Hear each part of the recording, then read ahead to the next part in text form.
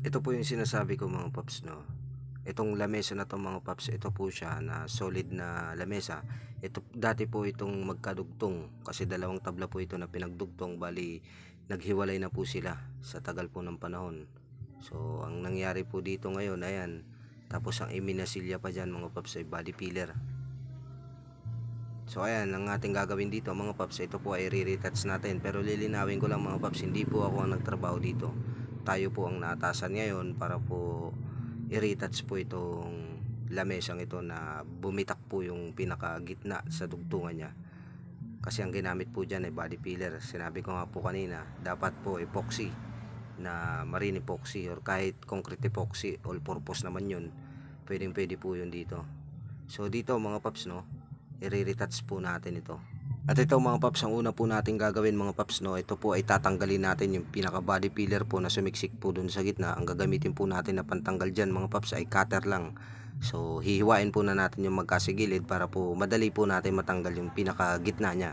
So yung kapal ng body filler niyan mga paps, yung pinakalalim niya po ay umabot po yan ng 1 inch. So medyo malalim po siya. At ang ating next step na gagawin dyan mga paps pagkatapos na po yan matanggal tayo po ay magtitimpla na po ng ating gagamiting pangmasilya dito. Gamit po yung marine epoxy or bostik na El Capitan.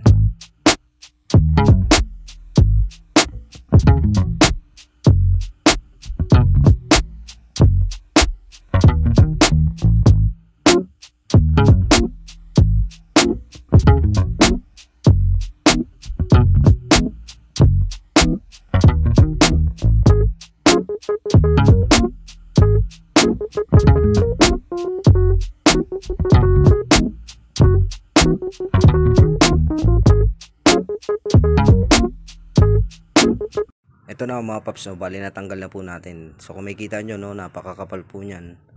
Ayan, puro body filler po yan mga paps. So sa sobrang kapal niya mga paps, hindi po tayo nahirapan na tanggalin yung body filler. Kasi nga malambot na siya, hindi na po siya gano katigasan. Kasi nga po sa sobrang kapal niya, medyo malambot po siya. Hindi po gaya po sa body filler na kapag pinapahid po sa manipis po na paraan ay matibay po. Kasi dito, mga paps no? Sa sobrang kapal hindi na po siya matibay. So dito mga paps lilinisan po natin to ng mabuti bago po tayo mag preparasyon pag timpla po ng ating magiging masilya rito na epoxy. So tatanggalin po natin yung mga natira-tira po dito sa gitna hanggang sa malinis na po natin ito mga paps. At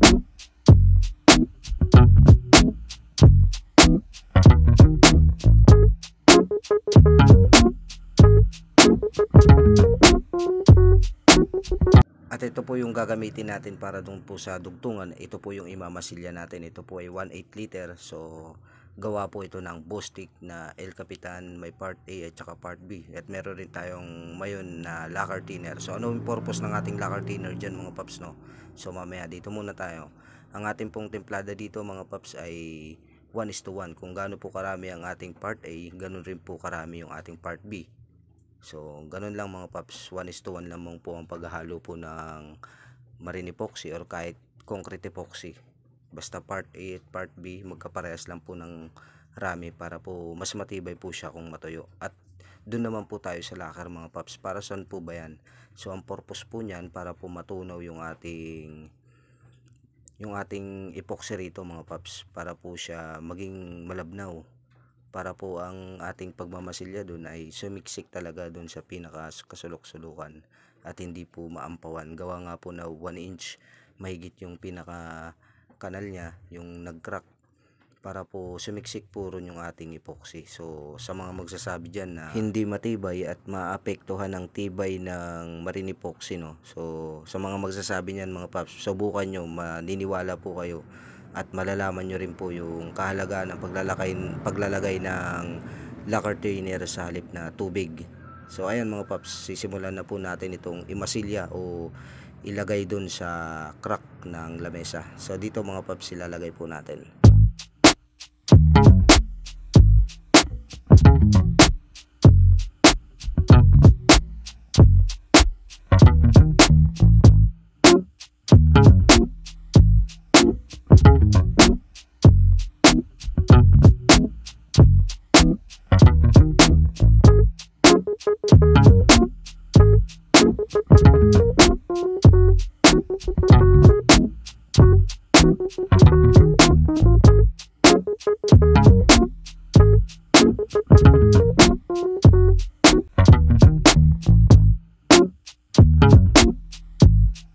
After po natin ito mamasilyan ng epoxy mga paps no hihintayin po natin na magsilubugan po yan doon sa may pinakailalim.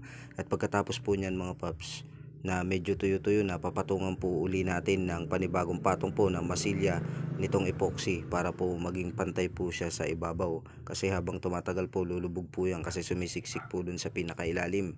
So ang gagawin po natin papatungan po uli natin ito ng epoxy hanggang sa magpantay po ito. Mas mainam na po na sumubra kasi hasain na lang po natin yan na sander machine kum- kumpara dun sa hindi natin mahabol yung pinakapantay po ng ibabaw. Ito mga paps tapos na po natin itong imasilya sa pangalawang patong. So ang gagawin po natin dito mga paps so maghihintay lang po tayo ng 24 hours bago po natin ito liyaan